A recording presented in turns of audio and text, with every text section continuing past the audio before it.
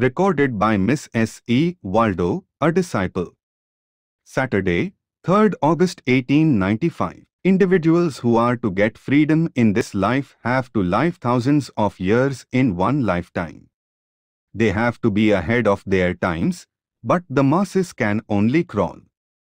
Thus we have Christs and Buddha. There was once a Hindu queen who so much desired that all her children should attain freedom in this life that she herself took all the care of them, and as she rocked them to sleep, she sang always the one song to them, Tat Tvam Asi, Tat Tvam Asi, that thou art, that thou art. Three of them became sannyasins, but the fourth was taken away to be brought up elsewhere to become a king. As he was leaving home, the mother gave him a piece of paper which he was to read when he grew to manhood.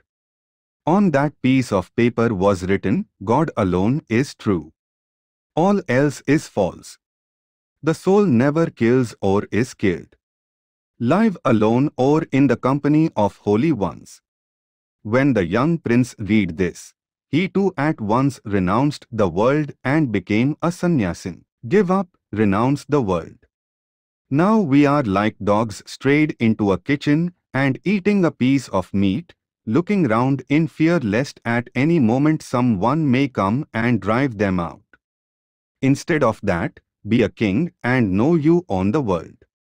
This never comes until you give it up and it ceases to bind. Give up mentally if you do not physically. Give up from the heart of your hearts. Have vairagya, renunciation. This is the real sacrifice, and without it, it is impossible to attain spirituality. Do not desire, for what you desire you get, and with it comes terrible bondage. It is nothing but bringing noses on us, asterisk, as in the case of the man who had three boons to ask. We never get freedom until we are self-contained. Self is the savior of self, none else. Learn to feel yourself in other bodies to know that we are all one. Throw all other nonsense to the winds. Spit out your actions, good or bad, and never think of them again. What is done is done. Throw off superstition. Have no weakness even in the face of death. Do not repent, do not brood over past deeds, and do not remember your good deeds, be azad, free. The weak, the fearful, the ignorant will never reach Atman. You cannot undo, the effect must come, face it, but be careful never to do the same thing again. Give up the burden of all deeds to the Lord, give all, both good and bad. Do not keep the good and give only the bad. God helps those who do not help themselves. Drinking the cup of desire, the world becomes mad. Day and night never come together, so desire and the Lord can never come together. Give up desire.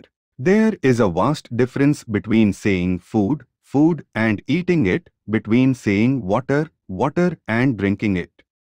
So by merely repeating the words God, God we cannot hope to attain realization. We must strive and practice. Only by the wave falling back into the sea can it become unlimited, never as a wave can it be so.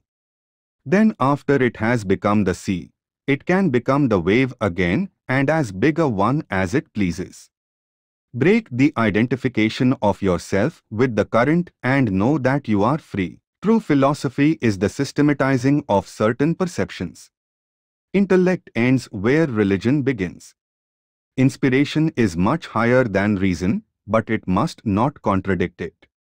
Reason is the rough tool to do the hard work. Inspiration is the bright light which shows us all truth. The will to do a thing is not necessarily inspiration. Progression in Maya is a circle that brings you back to the starting point, but you start ignorant and come to the end with all knowledge. Worship of God, worship of the holy ones, concentration and meditation and unselfish work, these are the ways of breaking away from Maya's net, but we must first have the strong desire to get free. The flash of light that will illuminate the darkness for us is in us. It is the knowledge that is our nature. There is no birthright. We were never born. All that we have to do is to drive away the clouds that cover it. Give up all desire for enjoyment in earth or heaven. Control the organs of the senses and control the mind. Bear every misery without even knowing that you are miserable. Think of nothing but liberation. Have faith in Guru, in his teachings, and in the surety that you can get free. Say Soham, Soham whatever comes. Tell yourself this even in eating, walking, suffering. Tell the mind this incessantly, that what we see never existed, that there is only I. Flash the dream will break. Think day and night, this universe is zero, only God is.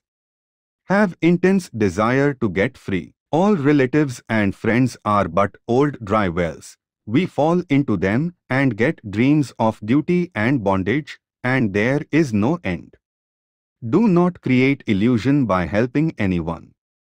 It is like a banyan tree that spreads on and on. If you are a dualist, you are a fool to try to help God. If you are a monist, you know that you are God, where find duty? You have no duty to husband, child, friend.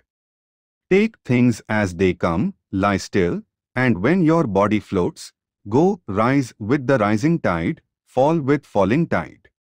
Let the body die, this idea of body is but a worn-out fable. Be still and know that you are God. The present only is existent. There is no past or future even in thought, because to think it, you have to make it the present. Give up everything and let it float where it will. This world is all a delusion, do not let it fool you again. You have known it for what it is not. Now know it for what it is. If the body is dragged anywhere, let it go. Do not care where the body is. This tyrannical idea of duty is a terrible poison and is destroying the world. Do not wait to have a harp and rest by degrees. Why not take a harp and begin here? Why wait for heaven? Make it here. In heaven there is no marrying or giving in marriage, why not begin at once and have none here? The yellow robe of the sannyasin is the sign of the free. Give up the beggar's dress of the world, wear the flag of freedom, the ochre robe.